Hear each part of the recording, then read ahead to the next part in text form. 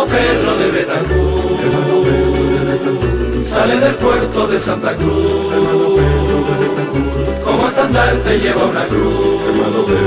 Una gran satisfacción personal eh, escribir sobre mi tierra, ser un personaje tan vinculado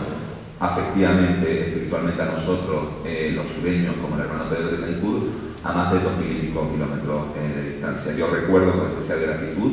estar sentado delante de mi portátil en mi casa en Barcelona, eh, después de una jornada de trabajo y desplazarme mentalmente hacia el siglo XVII, hacia el sur de Tenerife, del que, yo soy natural, eh, que digo para mí me supuso pues, una gran satisfacción eh, por estas cuestiones que le digo, por la enorme distancia física en la, con la que yo me encontraba en ese momento respecto de mi tierra de nacimiento. Asimismo, eh, recuerdo también con, mucho deleite las innumerables horas que, pasé, he pasado en el archivo parroquial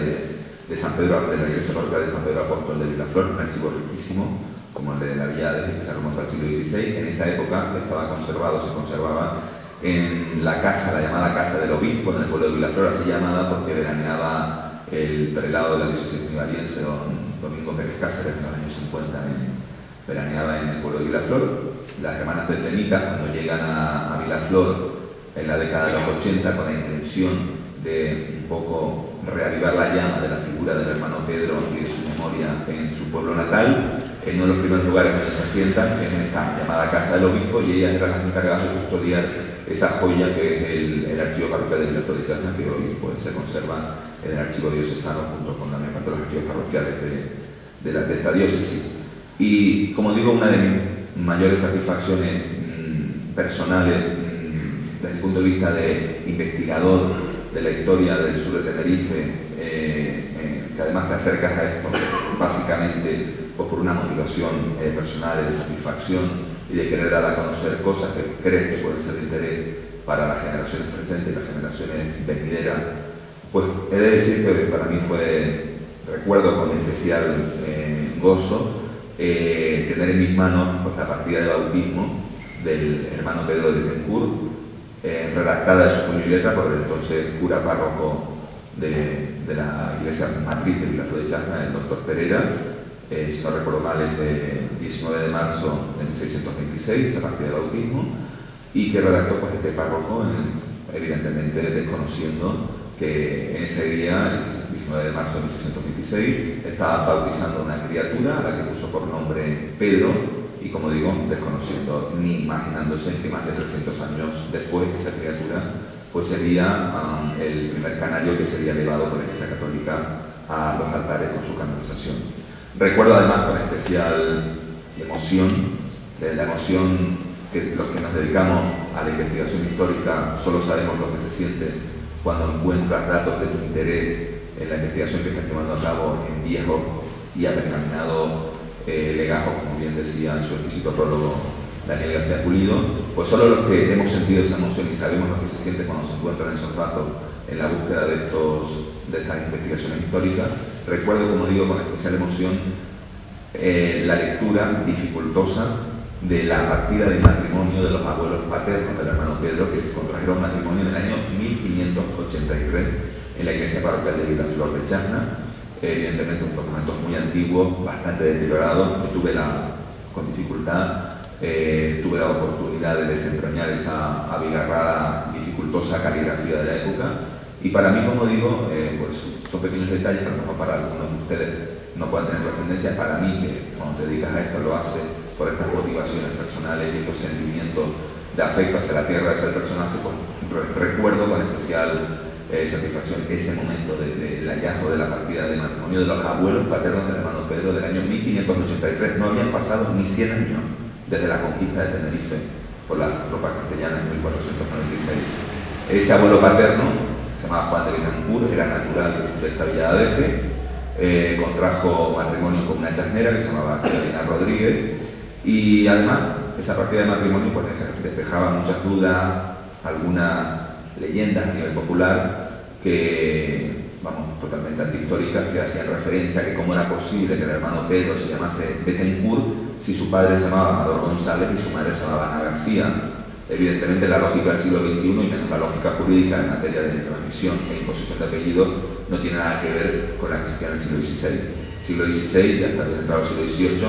hermanos de padre y madre tenían distintos apellidos, porque en la época era costumbre y era usual un hermano cogiese el apellido de un abuelo paterno, el otro hermano prefiriese coger el apellido de su abuela materna y otro hermano el del abuelo materno. Entonces nos podíamos encontrar con tres hermanos de padre y de madre, legítimos, cada uno con tres apellidos diferentes porque los habían cogido de distintos antepasados, pero eran todos apellidos de núcleo familiar. En el caso del hermano Pedro de Betancourt, evidentemente estas leyendas que circulan a nivel popular pues son totalmente infundadas y no responden a la realidad histórica y genealógica de la época. El hermano Pedro adopta el apellido de Betancourt porque su abuelo paterno se llamaba Juan de Betancourt y el padre de hermano Pedro se llama Amador González porque a su vez su abuelo materno se llama Amador González. Era la anárquica y confusa costumbre de la época en esta materia. En, este sentido, eh, me gustaría hacer referencia a otros ilustres biógrafos del hermano Pedro, eh, como por ejemplo el militar eh, chasnero, escalonero conocido don Raúl Fraga Granja, que si no estoy equivocado, y me disculpan si en esto digamos, omito a alguna persona involuntariamente. Que yo sepa, este ilustre militar, nacido en La Escalona, en el municipio de Chasna, Raúl Fraga Granja, fue o es el primer canario que tiene el mérito de haber escrito una biografía sobre el hermano de Pedro desde el de los años 70, si no recuerdo mal, la década de los 70. Eh, luego hemos seguido a otras personas, mm, que hemos seguido también, o hemos intentado emular la obra, la trayectoria de importantísimos personajes en la historiografía canaria de la talla de don Leopoldo de la Rosa Rivera o de don Antonio Romero de Armas, que también escribieron, si bien sucintamente, sobre el hermano Pedro de Betancourt y, su obra y también incluso sobre su familia, por el constante apoyo en esta labor investigadora, que muchas veces, pues, aunque se asume con gusto y con absoluta voluntariedad, algunas veces pues, también ardua y dificultosa. Y a, a mi padre y a mis hermanos, pues mi más testimonio y más profundo agradecimiento por ese apoyo constante que me demuestran cotidianamente. Asimismo, de nuevo, dar mi sincero agradecimiento a Daniel García Pulido, ausente por las razones que expuse. También me gustaría hacer una mención al malogrado investigador José Antonio Servián La Casa por su siempre interesante sugerencia y, su ánimo en, en mi labor investigadora. Y finalmente, quisiera acabar con unas palabras con las cuales, las cuales pronuncié en este mismo lugar, en este mismo recinto, en el año 2002, con ocasión de la presentación de esa primera biografía que escribió Don Pedro, que se presentó en este mismo lugar en el año 2002. Entonces tuve la ocasión de dirigirme al público entonces asistente diciéndole que la realización de ese primer libro había supuesto para mí un viaje lleno de emociones y sentimientos, no solo como investigador de historia del sur de Tenerife, sino también como creyente. He de reafirmarme en esas palabras que entonces tuve la oportunidad de decir. Eh, yo personalmente, como creyente, eh, me he encomendado en, en circunstancias adversas de la vida o situaciones, si no adversas, difíciles o de trascendencia para uno. No me importa contar a título anecdótico si a alguien le interesa, pues cuando me fui a examinar a, Madrid de las oposiciones de ingreso a la carrera judicial, en el imponente marco del Tribunal Supremo, pues yo, como creyente